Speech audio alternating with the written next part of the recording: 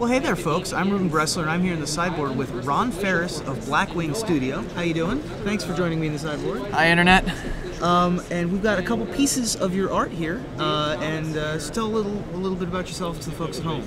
Uh, my name's Ron Faris. Uh, I've been altering professionally for about two years now. Um, I, uh, I'm, I'm based out of here in uh, sunny Atlanta, Georgia. Um, though I, I travel with Star City pretty much all up and down the, the East Coast. Uh, I, uh, I, I ruin cards for a living. Nice. uh, there's not much more to say about that. That's pretty awesome. Now we've got a couple examples here.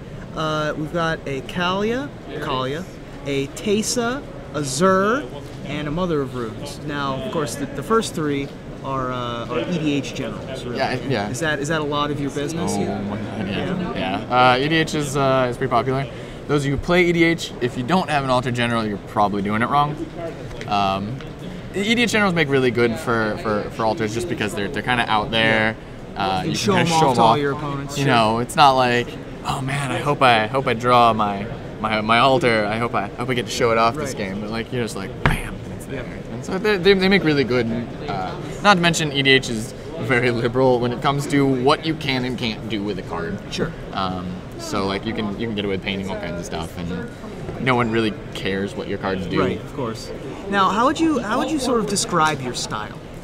Um, I, I do. It, it's kind of a like my, my personal style is kind of a, fusion somewhere between like comic book art and like like traditional fantasy art. Um, I, I, I had a lot of, uh, of influences in like from like Brom to like uh, Arcade Post, a lot of like the, the dark fantasy stuff, but then like um, a lot of a lot of comic book art kind of influenced my early style too. Um, although a- as an alter artist, uh, there's very few times that I get I get to say exactly what I want to paint. Right. Um, every now and then I get some fun stuff like the the, the Kaalia is is just like original work stuff that I just kind of get to just kind of paint whatever I want, which is which is fun. But then you get a lot of people that are like, well, I want exactly this. I want I want SpongeBob. It's very difficult to Yeah. dramatically interpret SpongeBob. Sure. You know. Now, you say you've been doing this for how long? Uh, about two years professionally. Two years, and um, was that sort of? Uh, did, did that you started started doing that? I assume just for fun, but then the Star City Games Open Series came Right. along and it's been really Um, pushing altering. Right. Um, well, like I I'd been doing it like pseudo perfect. Like it was. Um, I, I was at a point where like my my wife and I had just moved because she had gotten a new job, and so I was kind of between jobs at the time, and I was like, well, I can paint on some stuff, and like I had, I had done some stuff for myself starting out, and then some guys at my local shop were like, oh, that's cool, you know, gotta have some of this, and so uh, I kind of started with eBay, like starting with getting some eBay stuff. Um, and then kind of from there, I had kind of a following on eBay for a while.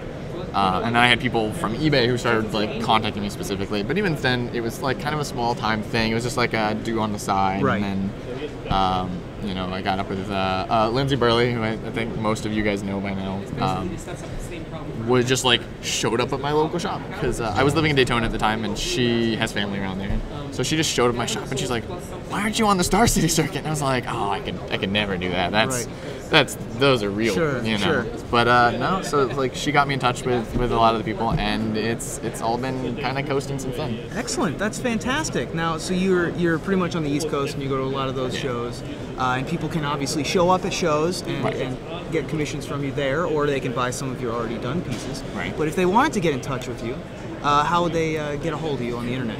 Um, Facebook's a really good one. Uh, Facebook.com slash Blackwing Alters. Um, I pretty much like eat, sleep, breathe internet connection. Um, otherwise, um, Blackwing Alters at yahoo.com um, is my, my, my personal email. It goes straight to my, my phone, which is here in my pocket basically 150% of the time. Sure.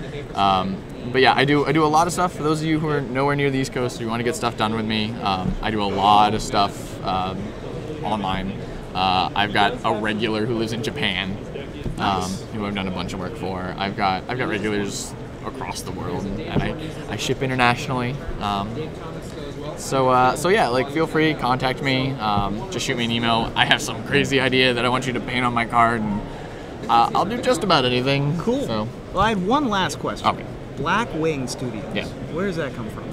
Um, it's it's always been kind of a, a like a, a monkey of mine um, that I've always used. Um, I did I did freelance graphic design for a while, so it kind of stemmed out of my my, my already having a business license. Sure, And sure. Uh, so then I kind of ran with it. Um, I, I like I've always liked the, the, the dichotomy behind like the fallen angel, like the the good and evil, but like light and dark, kind of a lot of the neat little stuff like that. Um, and a little bit that translates into my art. I, I really like a lot of of dichotomy. Like dichotomy has always been kind of a cool thing for me, um, and even in, in my painting and things like that. And when I get to do original Right. works, um, you know, like I like like the Kaalia kind of has a little bit like she's just kind of like evil, but she's kind of like innocent, and like even in the art, like she's kind of sitting in a church. So you get you get a little bit of depth and, and story there. You know, when things aren't aren't cut and dry, they're not quite they're not quite exactly. obvious. Excellent. Um, well, thank you for joining me in the sideboard. It was great No problem. talking to you. For those of you that want to see more of Ron's work, you can check him out on Facebook or uh, you can check him out at the StarCityGames.com Open Series. Thanks for joining me. No problem. Thanks for having me.